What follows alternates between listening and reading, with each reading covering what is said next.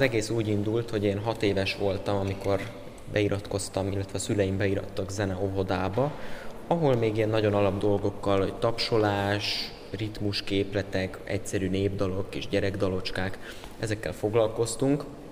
Aztán az év végén mondták, hogy, hogy jó a hallásom, és hogy esetleg meg kéne próbálni a zeneiskolát is, ahol ezt lehetne kamatoztatni.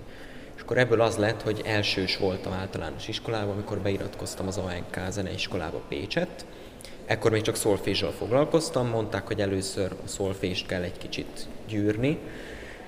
És akkor második évben kezdtem el a hangszert tanulni, és emlékszem arra a jelenetre, hogy a bejárati ajtónál álltam, és akkor jöttek oda a tanárok, hogy hú, jó füle van ennek a gyereknek, legyen hegedűs, nem inkább a zongora, meg cselló, meg furúja. És úgy voltunk, hogy nem, ez túl nagy, ez túl drága, ez annyira nem tetszik, és akkor így a háttérből így megszólalt a leendő tanárom, hogy és a gitár, és akkor így ez így megütötte a fülünket, hogy hát végül is az kicsi, elfér a lakásban, mert panellakásban laktunk, tehát hogy elfér, olcsó is, pláne az egyik rokonunk gitározik is, tehát tud ebbe segíteni, a szomszédokat se idegesítjük. És akkor így lett a gitár. Ezután a Pécsi Művészeti Gimnázium és Szakközépiskolába felvételiztem, illetve nyertem felvételt, ahol Straub Tamás volt a tanárom.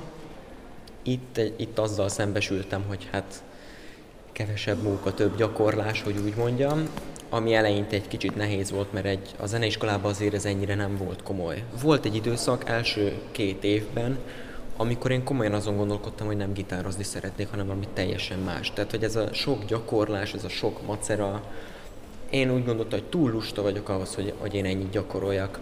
Aztán azt hiszem harmadikos, igen, harmadikos voltam, amikor a Váci Országos Szakközépiskolai versenyre kellett fölkészülni, és ott egészen egyszerűen azt vettem észre, hogy mindig is szerettem versenyekre járni, megmutatni, hogy mit tudok. És hát azért jól esik az embernek, hogyha kicsit elismerik meg, ha megjutalmazzák. És úgy volt velem, hogy na most akkor én megmutatom, kicsit ebből az állóvízből kijövök, és szeretném akkor, hát ha változik valami és csodát csodájára változott. Tehát elkezdtem gyakorolni, és azt vettem észre, hogy jé, működnek a dolgok. Kicsit technikázok, bár nagyon nem szeretem, de muszáj csinálni, és egész egyszerűen elkezdtek a darabban azok a technikai problémák megszűnni, amik eddig gondot okoztak, és gördülékenyen, simán, jól mentek a darabok. És ez volt a fordulópont ezen a Váci versenyen, amin második lettem egyébként, hogy hogy akkor nekem ezt mégis kéne csinálni. Mert hogyha relatíve, tehát én nem gyakoroltam akkor se hat órákat, de, de azért úgy odaültem, tehát csináltam. Tehát, hogyha ennyi munkával képes vagyok egy ilyen eredményt elérni, és örömet szerzek magamnak azáltal, hogy, hogy kijönnek a dolgok, tehát, hogy a darab meghálálja magát úgymond, hogy a belefektetett munka visszajön, akkor tényleg érdemes volna ezzel így tovább foglalkozni, és akkor innen jöttem föl a gödörből, hogy úgy mondjam. Aztán leérettségiztem, és most a Zeneakadémián vagyok alapképzésen első éves hallgató klasszikus gitár szakirányon. Jó érzés oda járni, jó tanárokkal vagyok körülvéve, hát mostani tanárom Csáki András, maximálisan meg vagyok vele elégedve, tehát szinte keresve se találhattam volna jobbat, megfelelőbbet. Az én ízlésemnek, zenei irányomnak, hogy úgy mondjam. Most ő is elkísért egyébként, a családommal együtt.